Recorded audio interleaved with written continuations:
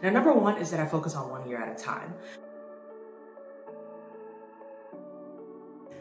Hi guys, welcome to my channel. This is Biz Tips with Feyisola and I'm super, super, super excited to be sharing this video with you. Now, this channel is focused on all things business tips. That's small business owners, service-based business owners.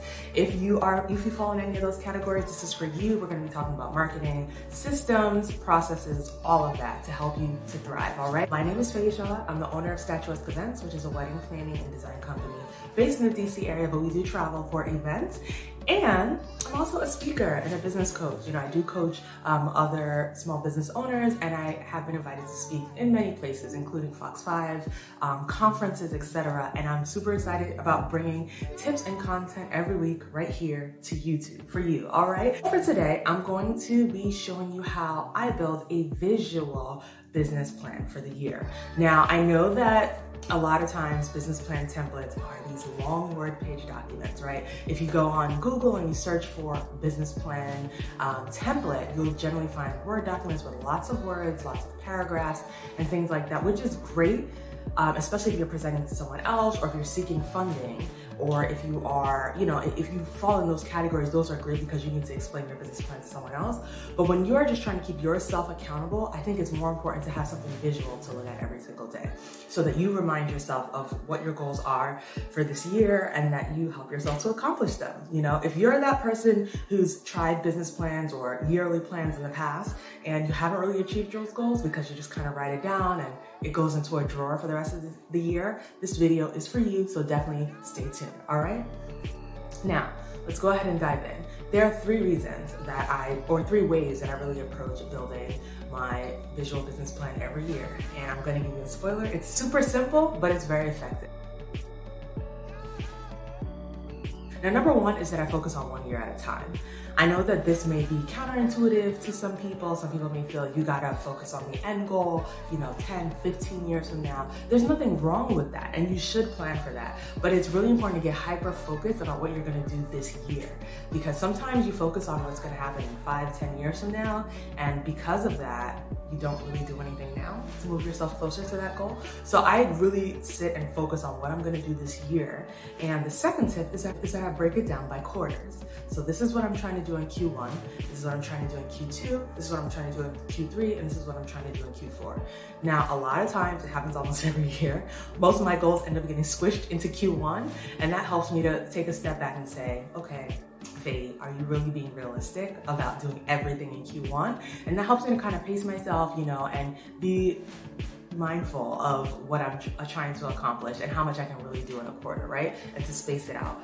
Um, so number one is that I come up with goals according to the year. Number two is that I break them out by quarters, Q1, Q2, Q3, Q4. And the third piece is that, you know, I make stretch goals. Now, a lot of times we have goals for the year that we know we're gonna hit. Um, there are goals for the year that maybe are already in progress. If you're like me, I generally start on the next year by Q4 of the previous year. So there's certain things that I already have in progress. There's certain things I know I'm already gonna hit, right? Like if you're in an industry like mine, where we're wedding planning or doing anything in the wedding industry, you generally already have at least half or more of your bookings as you're going into the new year because people tend to plan that far in advance. So there's certain goals you already know you're gonna hit. Maybe you already know you're gonna have 10 weddings this year because you have nine booked, something like that. But I also come up with stretch goals that challenge me to try new things and push me into new areas, right? So I think that's important for growth. You know, you don't want every goal to be such an easy goal. You don't want it to be astronomical, like, okay, I'm gonna build the $7 million mansion this year. But you definitely want to have challenging goals that encourage you to think and that really push you so that you do eventually hit whatever goal that was that you put for yourself in 10 or 15, 20 years, right? All right, so enough talking about my three steps. Number one, breaking it down by year, then assigning tasks to quarters, and number three, never forgetting your stretch goals, all right? So now enough of that, and I'm gonna show you how exactly I map all this out on paper in a visual way for myself, all right?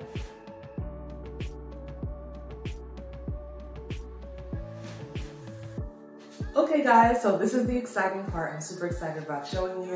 Um, all right, I'm gonna introduce you to my tools. I have three tools. First, sticky notes. I love sticky notes. And peep the brand, all right? I do have branded sticky notes, which I give to clients sometimes that say Statuesque Events on here, all right? So I first like to write all of my goals on a sticky note before I put it, put it up, uh, just so I can get it right.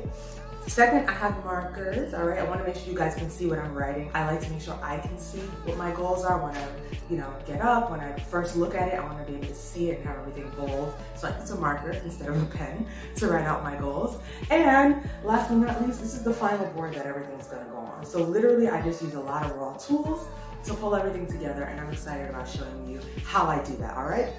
So for the first step, what I do is I break my board down into quarters, meaning quarter Q1, Q2, Q3, Q4. And again, the reason that is really important is because I want to make sure that, you know, I'm pacing myself and that I have a reasonable amount of work to do all year long, all right?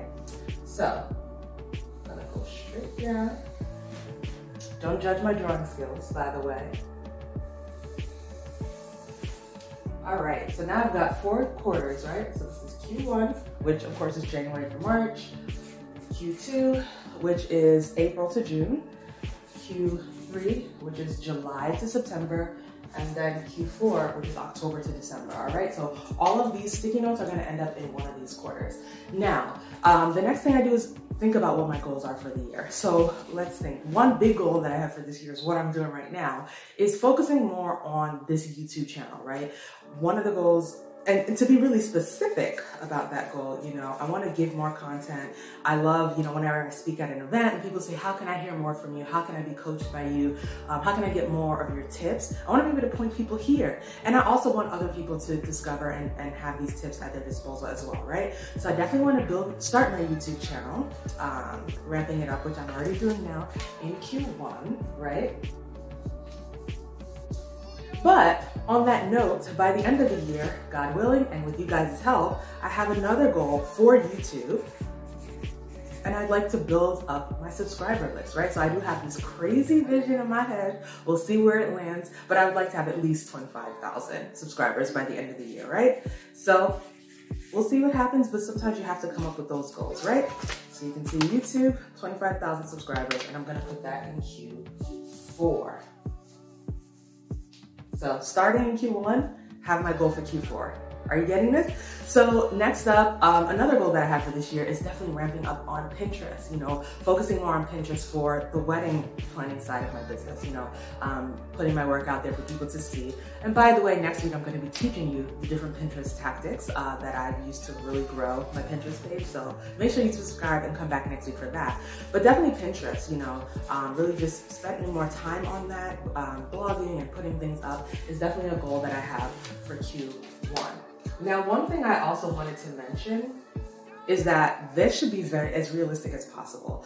Um, like I mentioned earlier, I'm a wedding planner. So generally in Q2 and Q3, my life gets a little hectic because I'm, you know, in the final stages of wedding work and working, you know, many weekends on weddings, you know, lots of changes and things are happening. So generally my goals tend to be a little heavier in Q1 and Q4 because that's just realistic uh, according to how my life is. You know, I have personal goals as well to read lots of books. Last year I read 12 and a half books. This year I'm trying to push it up to 15. So the majority of those books will be read in Q1 and Q4.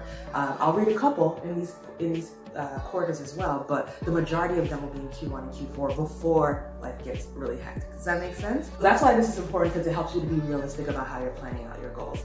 Now, another goal that I have, which is more of a stretch goal, is definitely to get a little bit more um, into television and you know media right? So of course our, our business has been featured in a number of magazines. I have a couple of them on my desk. You know they're not Munaluchi Bride etc and i love that. Um, and we have had a segment before on fox 5 dc i've done those things before but i'd like to get more into being a regular contributor to different news outlets. So that's more of a stretch goal because that requires a lot of work um, inside knowledge etc but it's one that i think i can reach. So i'm making that a goal for this year as well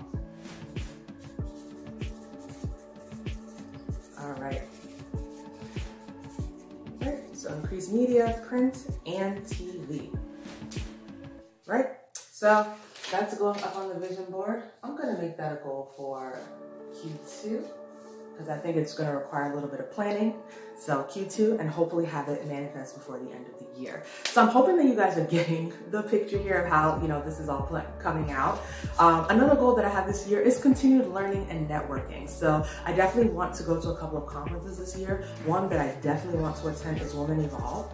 Um, of course, my businesses primarily are all about uplifting women, um, you know, making us, you know, just uplifting women who are possibly also women of faith, but really just women who are dynamic, who have awesome businesses, who have big plans for their lives. And I really want to just go to Woman Evolve. I think it's an awesome conference put on by Sarah Jakes Roberts, and I want to meet other women. I want to um, network. I just want to be in the building. And so that's definitely a goal that I have um, as well for Q3. And in Q4, I would like to also attend another conference, you know, more of a business conference, right? So likely a wedding industry conference.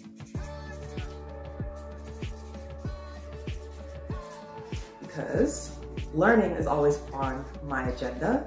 Uh, and not just learning, of course, networking, but learning is really critical, right? So as you can see, this is filling up pretty fast as far as my goals.